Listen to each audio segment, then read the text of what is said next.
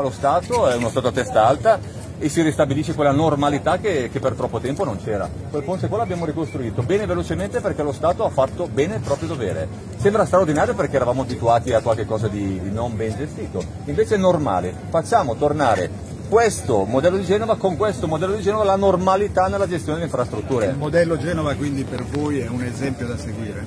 Il modello Genova è un esempio da seguire per cantieri ed infrastrutture simili a queste. Questo modello non lo puoi replicare per fare manutenzione sulle strade statali di ANAS ad esempio. Lì bisogna eh, che ci sia un'attenzione, un indirizzo politico serio e coerente da parte dello Stato e c'è quando nessuno ci vuole lucrare nella gestione di tanti soldi pubblici. Questo ponte qua eh, l'ha costruito società private e pubbliche perché la progettazione esecutiva è di Italfer, fa parte del gruppo Ferrovie dello Stato e è una società pubblica straordinaria e l'hanno pagato chi lo doveva gestire, l'hanno pagato i Benetton e Aspi. Io penso che sia una bella rappresentazione di un ritorno alla normalità, dove l'interesse pubblico che era sotto i piedi rispetto all'interesse privato, che era diventato un abuso della cosa pubblica, perché questo è solo pubblico, si ristabilisce quel giusto equilibrio tra interesse pubblico e privato. A livello personale cosa significa questo?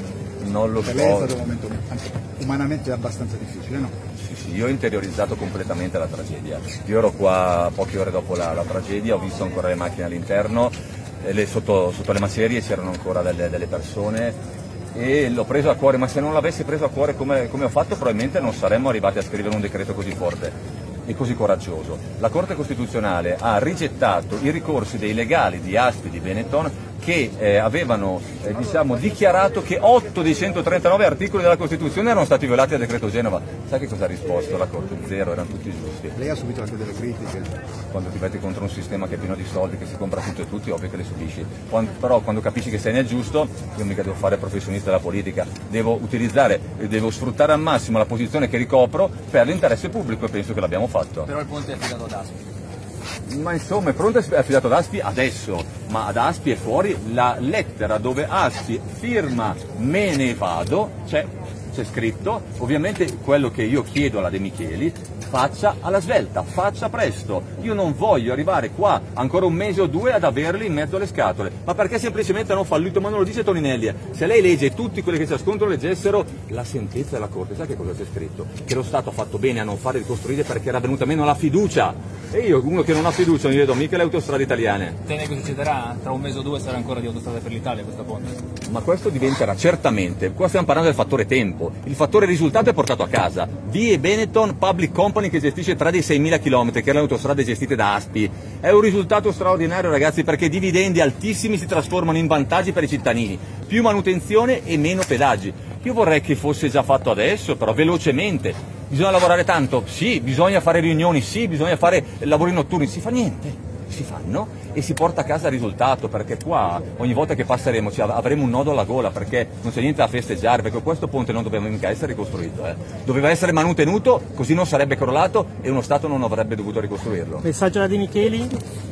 Nessun messaggio, faccia la svelta, eh, faccia uscire il più velocemente possibile i Benetton. Il risultato è stato portato a casa, il risultato per nulla scontato e sapete perché l'abbiamo portato a casa? Perché la Corte Costituzionale ha detto che il decreto Genova era un signor decreto in punta di diritto costituzionale, perché se, se, avessero accolto i ricorsi in punta di diritto costituzionale, so, forse, probabilmente i Benetton sarebbero andati avanti. Siccome abbiamo vinto, siccome era giusto non farli partecipare alla ricostruzione, i loro avvocati hanno detto bandiera bianca, è arrivato il momento di andarcene. Però ragazzi miei, quella lettera di diciamo me ne vado di Benetton va concretizzata con atti concreti che lei deve fare velocemente, velocemente. Alcuni familiari delle vittime hanno definito una presa in giro questa, questa revoca che non è proprio una revoca. No, allora io non penso proprio, io ho parlato con Egel Possetti, ho parlato, io ho sempre avuto rapporti. Alcuni, sono... non lei, alcuni. Sì, esatto, e io non sono riuscito a parlare con tutti loro ovviamente perché sono tante, purtroppo le vittime e tantissimi familiari.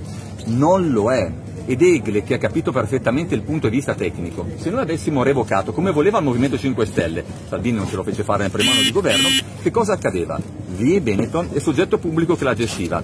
Con il risultato ottenuto, sa qual è l'effetto? Vie Benetton è un soggetto pubblico che lo gestisce è la stessa cosa. Quindi questo è un soggetto di uno Stato che ritorna a fare lo Stato contro chi si è abusato, non si è mai abusato, dell'utilizzo della cosa pubblica. Semplicemente questo, un ritorno alla normalità, né più né meno. A livello personale non essere ministro lei che ha avviato tutto questo percorso? Ma no, io, chi mi conosce sa che non ho mai eh, ragionato sulla figura che ricoprivo, ma sull'incarico e quello che potevo fare Io penso che in un annetto un po' di cose l'abbiamo portate avanti. Questo, questo ponte qua non ci deve far gioire, ripeto, perché è un ritorno alla normalità, però se no avessimo scritto in quelle settimane durissime dove io ricevevo costanti contestazioni, io mi ricordo Toti, Giorgetti e Renzi che parlavano di decreto Genova, questo ottobre-novembre, eh, eh, quando era in Parlamento, decreto Genova scritto con i piedi.